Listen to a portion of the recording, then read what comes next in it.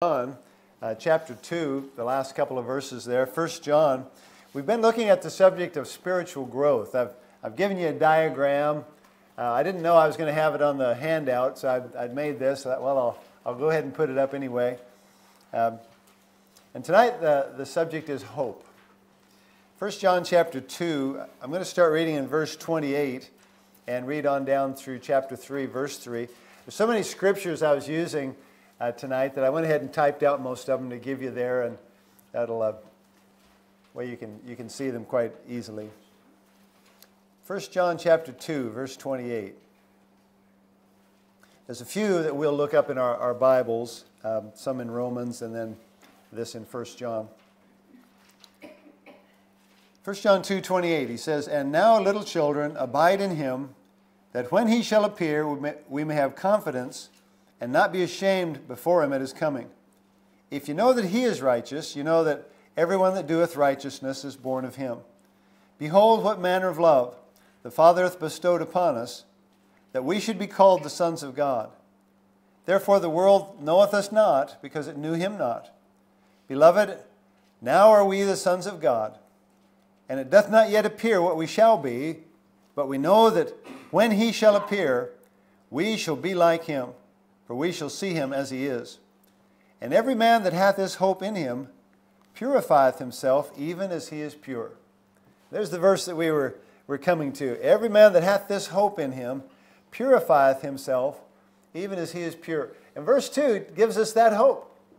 The Bible tells us that we are going to be with Jesus and we're going to be like Jesus. You know, we, we struggle with that now, trying to be like Jesus. You know, we can, it's easy to sing, uh, but sometimes it's hard to do. But God has given us the promise. Know, it doesn't appear exactly now.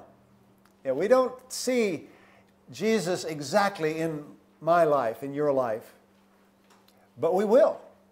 God says uh, we shall be like him. And because of that hope, he says, we have the urge to grow and to grow spiritually, uh, to be like Jesus. We have God's promise. Um, you know, we've, we've been looking at this, this idea of growing spiritually, and we, we've seen that it, it's all built on Scripture. We're not going to grow without the Scripture. And the Bible says, as newborn babes, desire the sincere milk of the Word that you may grow thereby. And we're not going to grow in Scripture if we're not obedient to it. You know, it's not enough to know what the Bible says. We need to do what the Bible says. Be ye hearers of the Word, not be I better get that right. Be doers of the Word and not hearers. I had the, uh, uh, the liberal version there.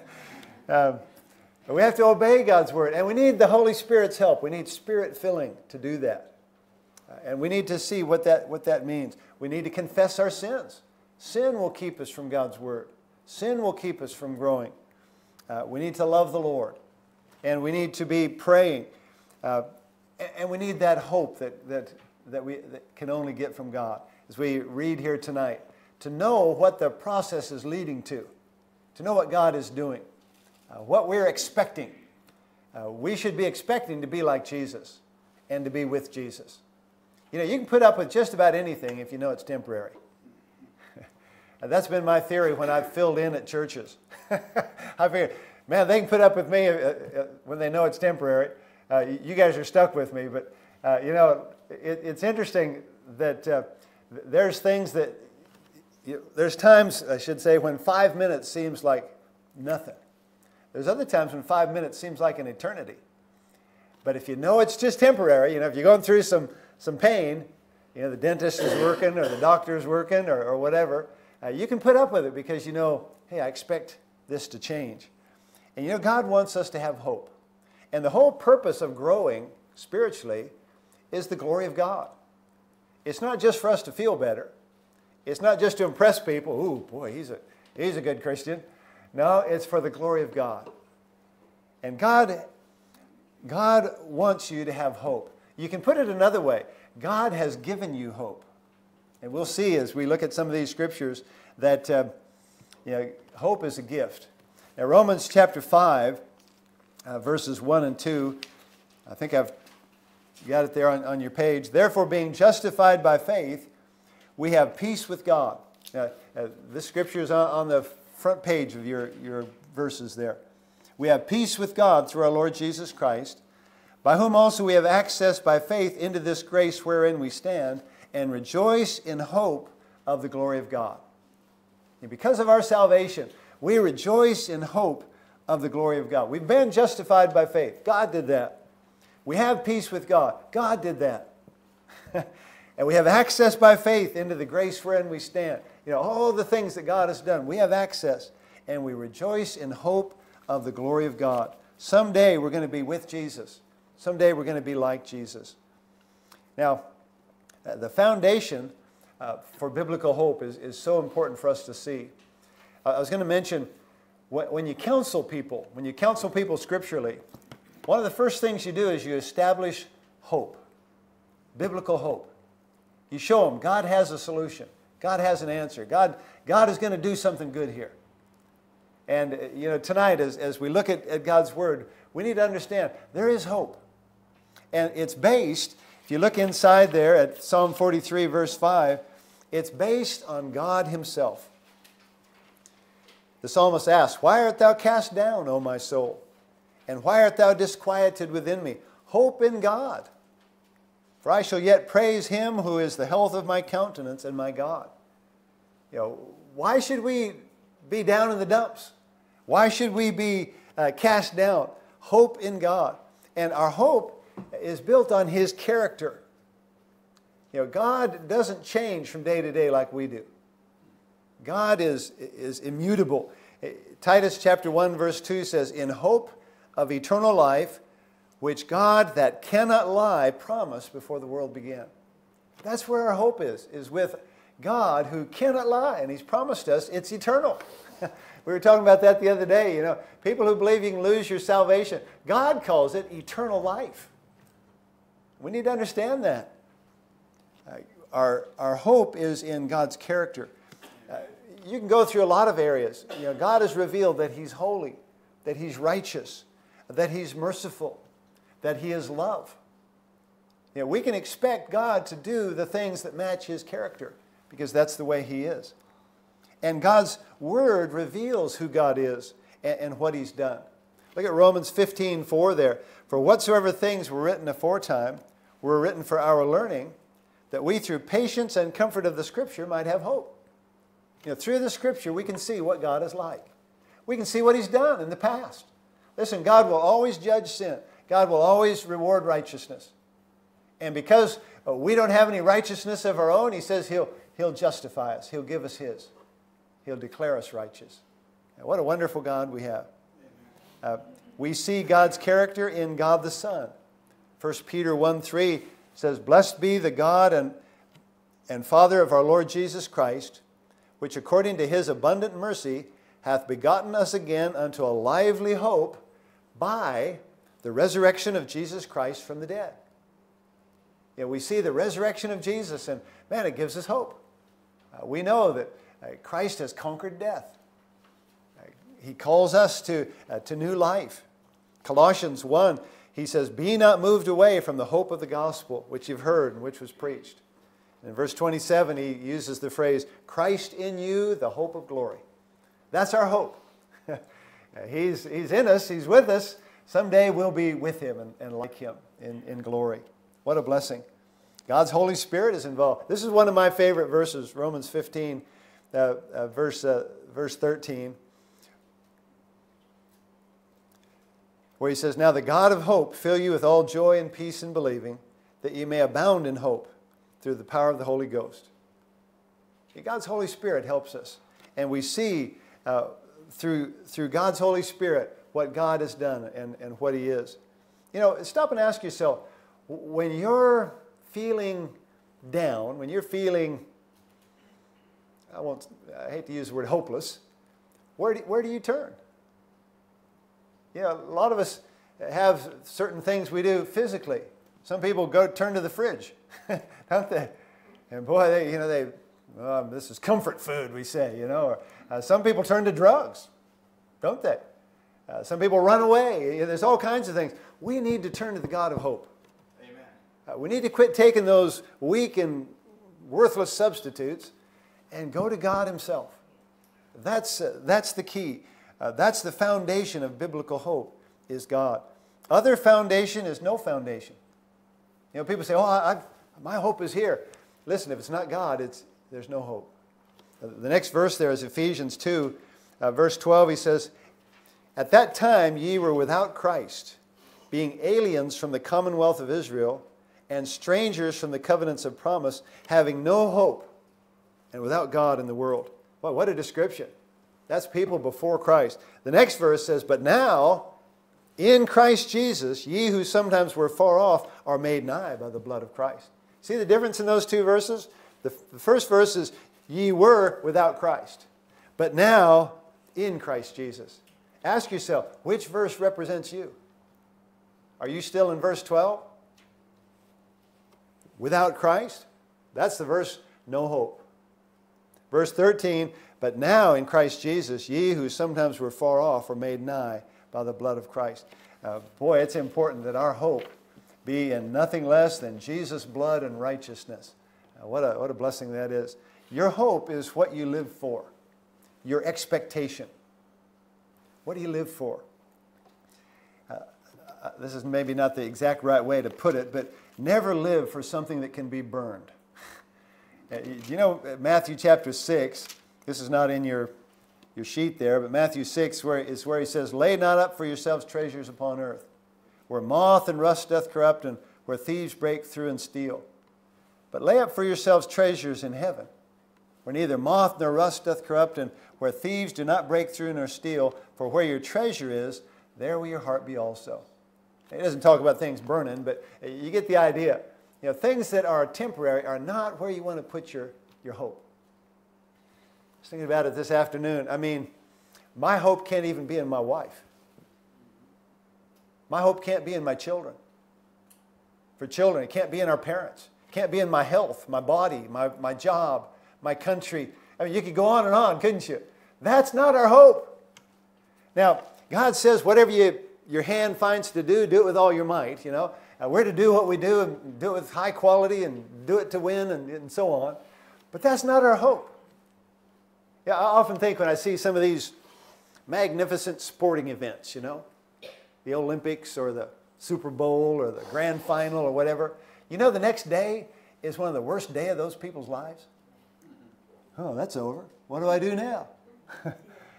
you see, if that was their hope, it's over. That's not our hope, folks. It's, it's not found in those things that can, can pass away. God wants you to have hope. God wants you to have hope in real life, not just a feeling. Listen, if you just want a feeling, do drugs. yeah, that'll, that'll do it. Yeah, don't do it. I'm just kidding. Second Thessalonians uh, 2, there in your sheet, verses 16 and 17 says, God gives you hope as a gift. Now, our Lord Jesus Christ Himself and God, even our Father, which hath loved us and hath given us everlasting consolation and good hope through grace, comfort your hearts and establish you in every good word and work. You see there in the, in the middle, he says he's given us everlasting consolation and he's given us good hope through grace. That's what he was talking about in, in 1 John 3 and verse 2. How that we, we have that hope that we're going to be with Jesus. We're going to be like Jesus. For by grace are you saved through faith. He offers hope as a gift. And when you accept God's gift, it changes you. Therefore, if any man be in Christ, he is a new creature. God takes up residence. God begins to work. It's like we read in, in 1 John 3 2, we shall be like him. A good example of that was the Apostle Paul. Remember Paul? Man, he, he hated Christians. He would travel as far as he had to to put them out of business and, and even kill them. But when God got a hold of him, it, it changed his life. His hope changed. Know, before he'd say, I hope I can kill those Christians. then his hope became, I know someday I'm going to be like Jesus, and I want to share that with everybody I can. What a difference it made in, in his life. Turn, if you would, uh, to Romans chapter 5. Romans chapter 5. And uh, we've read verses 1 and 2. I'll read them again. I'm going to read down through verse 5. Uh, God offers hope as a gift, and when we accept it, it changes us. And as we believe God and cooperate with Him, our hope will be evident in everyday situations. Let me read Romans 5, verse 1. Therefore, being justified by faith, we have peace with God through our Lord Jesus Christ, by whom also we have access by faith into this grace wherein we stand and rejoice in hope of the glory of God. And not only so, but we glory in tribulations also, knowing that tribulation worketh patience, and patience experience, and experience hope. And hope maketh not ashamed, because the love of God is shed abroad in our hearts by the Holy Ghost, which is given unto us. Wow, what a, what a bunch of verses that is. You know, he says, uh, we stand and rejoice in hope of the glory of God. He says it's not just a, it's not just an idea. It has to do with our life. When, when we're going through trouble, man, we know it brings patience. Patience experience, experience hope. Yeah, this is, this is where God rescues me. This is where God makes a change. This is where God blesses me. And hope maketh not ashamed, because the love of God is shed abroad in our hearts by the Holy Ghost, which is given unto us. Uh, yeah, we need to see our hope when we go through trouble. I have hope because, as he, he says here in Romans chapter 5, God is teaching me something. You know, as I go through trouble, I can have hope because God is, I know God is teaching me something. Uh, experience, you know, he talks about the tribulation and, and the patience and the experience and the hope. In Hebrews chapter 13, verse, uh, verse uh, oh, no, I'm ahead of myself there. James chapter 1, he says, My brethren, count it all joy when you fall into diverse temptations, knowing this, that the trying of your faith worketh patience. But let patience have her perfect work that it may be perfect and entire, wanting nothing.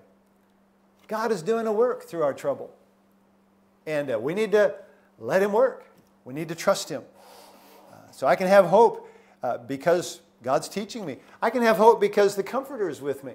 Like He said in Romans 5 5, uh, the love of God is shed abroad in our hearts by the Holy Ghost, which is given unto us. Hebrews 13 and verse 5, He said, I'll never leave thee nor forsake thee. You know, God's Holy Spirit is never gone from us as Christians. He's with us. He said he'll, uh, he'll be with us. I can, I can have hope because the Bible says Jesus will help me. And we need to know these things. Hebrews chapter 4, the top of, of the page there. We have not an high priest which cannot be touched with the feeling of our infirmities, but was in all points tempted like as we are, yet without sin.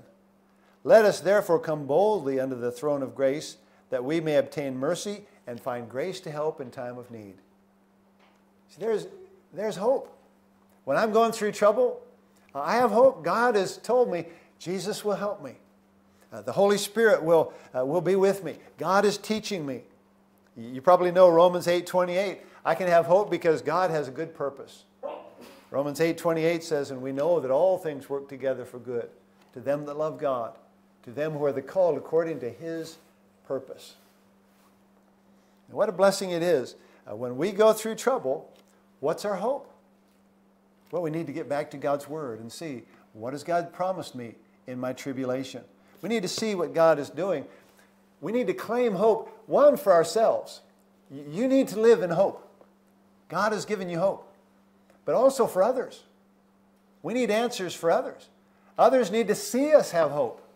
You know, when we're going through trouble, I, I know there's going to be times when we're down. Uh, that's just going to be the way it is. But then you need to look up and, and trust the Lord. And others need to see, hey, their hope is in the Lord. I found over the years, especially here in Australia, when someone gets saved, a lot of times they're the first Christian in their family. And their family thinks, oh, they'll get over it. And a lot of times the first year or two, they won't listen to you. But after a few years, they begin to see changes and they begin to see you're not giving up. And after three or four, five years sometimes, when they are in trouble, they'll come to you because they see you have hope. At first, they think, oh, they'll get over it. But they see that you're, you're clinging to the Lord. We need it for others. Like he said in Psalm 43 Why art thou cast down, O my soul? Why art thou disquieted within me? Hope in God. And that needs to be us uh, for ourselves, but as well for, for others. We need to see our hope when we go through trouble.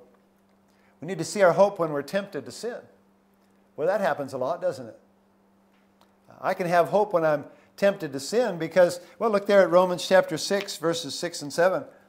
Knowing this, that our old man is crucified with him, that the body of sin might be destroyed, that henceforth we should not serve sin, for he that is dead is freed from sin. And then verse 14 says, For sin shall not have dominion over you, for you're not under the law, but under grace. We can have hope when we're tempted because God has set us free from sin's power. When you got saved, you died to that old way. Your old master has no more call on you. you don't have to serve sin anymore. God has given us that promise. I love this, this next verse. I can have hope when I'm tempted to sin because God limits the temptation. You know 1 Corinthians 10 13? He says, There hath no temptation taken you, but such as is common to man. But God is faithful, who will not suffer you to be tempted above the ye are able, but with the temptation also make a way to escape that ye may be able to bear it. Listen, you're going to be tempted. We're going to be tempted. But we need to understand there'll never come a time when that temptation will be more than you can bear. It's a, it's a lie to say, I couldn't resist it as a Christian. It's just not true. God says he, he makes a way to escape, and He'll help us. Uh, we have His promise. First, He set us free. We don't have to give in to sin, we're not slaves to that anymore. And He limits the temptation. And thirdly, God's already won the victory. and we're not looking for victory, we already have the victory in Jesus Christ. John 16 33 Jesus said at the end, end of the verse, In the world ye shall have tribulation, but be of good cheer. I've overcome the world. I love 1 Corinthians 15 where he says, But thanks be to God which giveth us the victory through our Lord Jesus Christ. It's victory in Jesus. It's not your victory or my victory, except that we're in Jesus. It's his victory. Uh, we need to apply this hope when we're tempted. We need to apply this hope when we're troubled. Now, we need to apply this hope in everything, really. Uh, God has said we can have His peace and His joy through hope. And when we fail, we can have hope renewed. Uh, there'll be times when we fail, but God doesn't give up on us. Uh, Isaiah 40, 31, what a great verse. They that wait upon the Lord shall renew their strength. They shall mount up with wings as eagles. They shall run and not be weary, and they shall walk and not faint. God will renew you. You know, though, he, though he fall, he'll, he'll rise up again. You know, God will help you. Uh, and here's the main point of this message. The Christian hope causes us to want to grow spiritually to be like Jesus. Like we read there in 1 John 3 3, every man that hath this hope in him purifieth himself, even as he is pure. God has a built in motivation uh, for us to want to be like Jesus. He's given us hope. He's given it to us uh, as a gift. In 1 John there, uh, I need to remind you what verse 2 says, 1 John 3 and verse 2. Now are we the sons of God, and it doth not yet appear what we shall be. But we know that when he shall appear, we shall be like him, for we shall see him as he is. That's our hope. We're going to be with Jesus. We're going to be like Jesus. Now, I want to close with a scripture and, and then an illustration. I'd like you to turn to Romans chapter 8, if you would, and verse 22. Romans chapter 8 and verse 22. I'm going to read down through verse 28. We've, already, we've uh, looked at verse 28 already. Romans chapter 8, verse 22. It's interesting to see verse 28 in its context, is one of the things I want you to see. Verse 22 For we know that the whole creation groaneth and travaileth in pain together until now. And not only they, but ourselves also, which have the first fruits of the Spirit, even we ourselves groan within ourselves, waiting for the adoption, to wit, the redemption of our body. For we are saved by hope. But hope that is seen is not hope. For what a man seeth, why doth he yet hope for? But if we hope for that we see not, then do we with patience wait for it. Likewise, the Spirit also helpeth our infirmities. For we know not what we should pray for as we ought, but the Spirit itself maketh intercession for us with groanings which cannot be uttered. And he that searcheth the hearts knoweth what is the mind of the Spirit, because he maketh intercession for the saints according to the will of God. And we know that all things work together for good to them that love God, to them who are the called according to his purpose. I want you to notice a couple of things there. Verse 22 we know that there's sin and trouble. That's not hard to figure out, is it? But verse 26, we know that God will help us. In verse 20, 28, we know it's going to turn out all right. That's our hope. Do you know how to spell hope? K N O W. all right? That's how you spell hope. We know from God's Word. And if we don't know that, we don't have hope. God knows the beginning from the end. The illustration I wanted to give you is building a house. Now, just suppose you decided you're going to build a house, brick house. You're going to get, uh, you're going to hire a contractor, but you're going to be involved in the, the building of it. So, of course, you get the plans and the drawings. Man, you look at those plans, you say, wow, what a house. This is going to be great. And then you get a builder, and he gives you the promise that he'll help and, and he'll complete the job. Gives you his guarantee. Wow, this is great. Look at those plans. We've got this builder. But then you have to dig a hole. And you have to carry bricks. And you've got to mix mortar and, and you got to you've got to do some work. There's something involved in it. You know, we we live with hope.